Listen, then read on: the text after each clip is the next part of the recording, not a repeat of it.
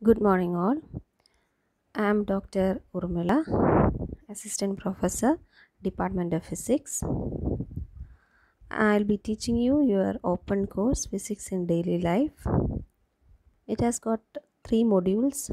In that, I will be teaching you module 2 and it has got three uh, two units one is unit 3 motion and the other is unit 4 electricity. So i'll be teaching unit 3 motion and unit 4 electricity. So today we will begin with the session unit 3 motion. So you know what a motion is or what is it meant by? Okay. Now motion means it is the change in position of an object in space as a function of time. Okay, suppose that an object is at position A at time t1 and suppose that it is at the position B at time t2. So we have we can say that the object has moved from position A to position B in a time span of t1 to t2. So motion is nothing but change in position of an object in space as a function of time we have got three different types of motions.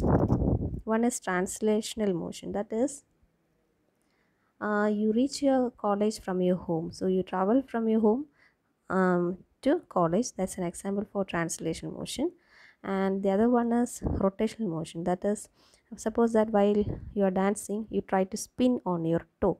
So spinning on your toe while dancing is an example for rotational motion now another one is oscillatory motion. That is suppose that you are going for a morning walk or you are going for a jogging then you try to swing your arms as a part of your exercise.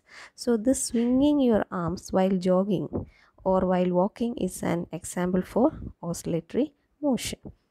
So here you have to study what motion is and the types of motion. Next is the difference between distance and displacement See the figure. Here there are two points A and B. A is the initial position and B is the final position and object is moving from A to B.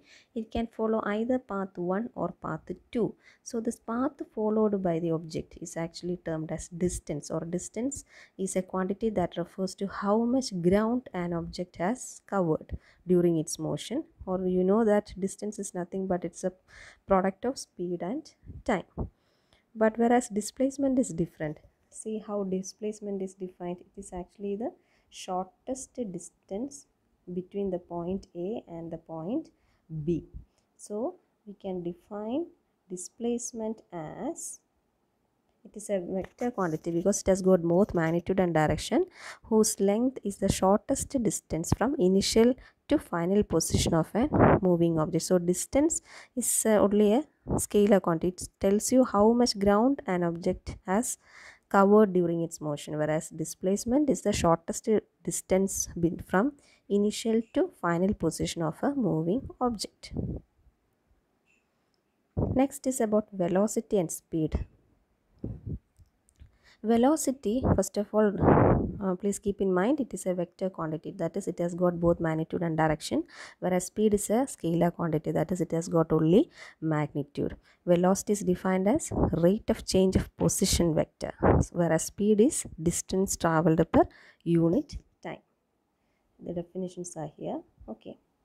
Now what is instantaneous velocity? Instantaneous velocity means velocity at a particular instant of time or it is a velocity at a particular time is the rate of change of position vector at that instant.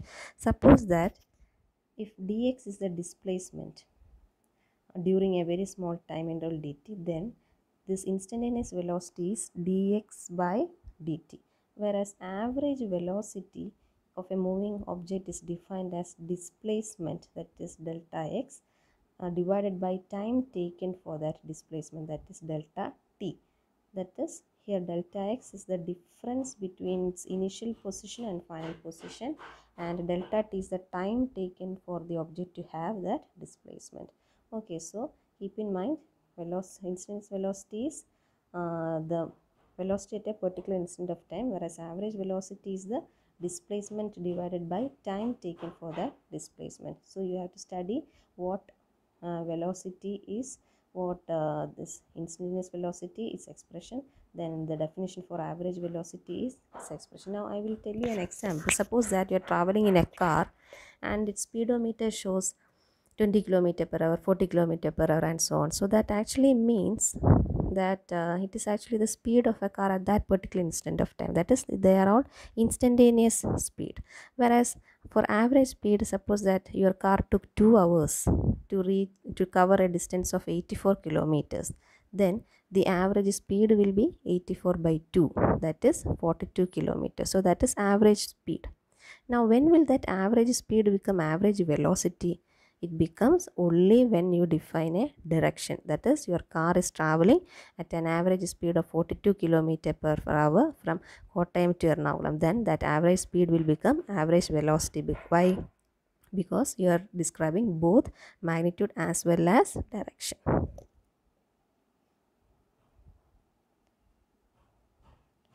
Next is acceleration when the velocity of an object increases with the time, it is acceleration. If it decreases with the time, it is deceleration. Now, the uh, definition for instantaneous acceleration is rate of change of velocity with respect to time. It is given by A is equal to dv by dt. Rate of change of velocity with the rate of change of velocity with the time dv by dt. So, d by dt you keep it as such.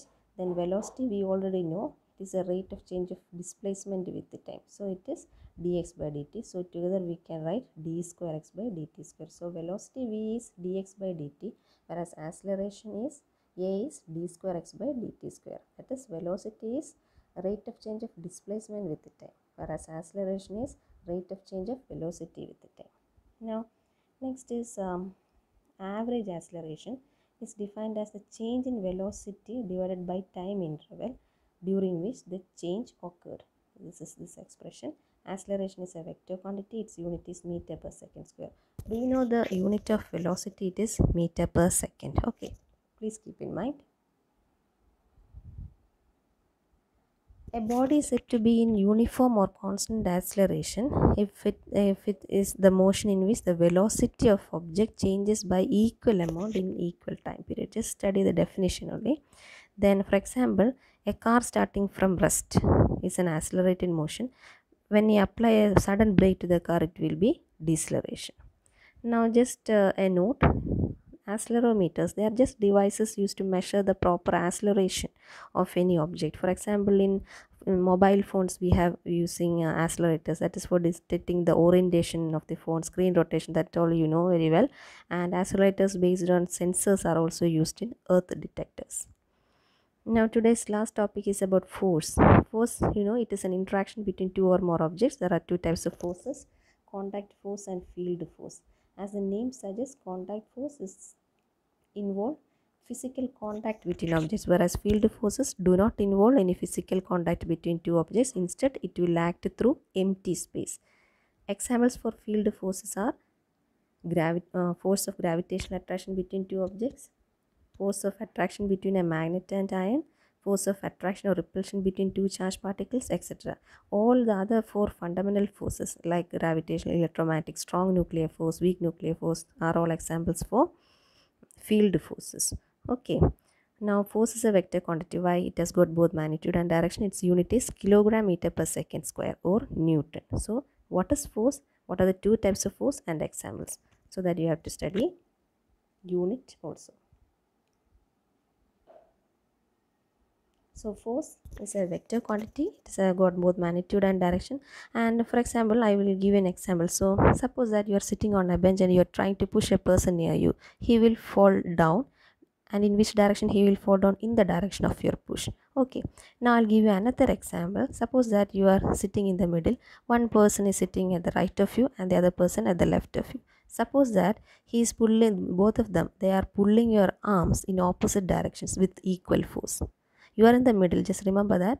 And your arms are being pulled by the two persons sitting on both sides of you in with equal force. They are pulling your arms in opposite directions with equal force. Well, then what will happen to you?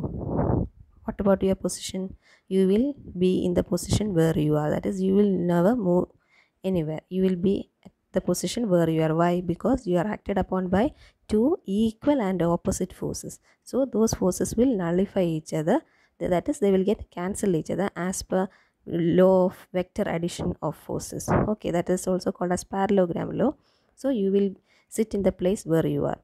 Suppose that if one person is stronger then he you will definitely move along the direction of the stronger person. You can understand it very well about the nature of force. Okay so i think uh, this is enough for today. So i will be uploading this uh, lecture class. Along with that i will upload a reference text also not the full text but those parts uh, that i have covered today. So when you study you can go through both my lecture class as well as the reference note. Here i have presented before you just the main points uh, that you will have to study uh, from your exam point of view. And you can find these points in your reference text also. The same points is being described in your text. So while uh, learning you please go through both my lecture class as well as the reference note. Uh, the same thing i have told here. So for vast reading you can go through the textbook also. Okay. So i think uh, today this is enough. Okay. Thank you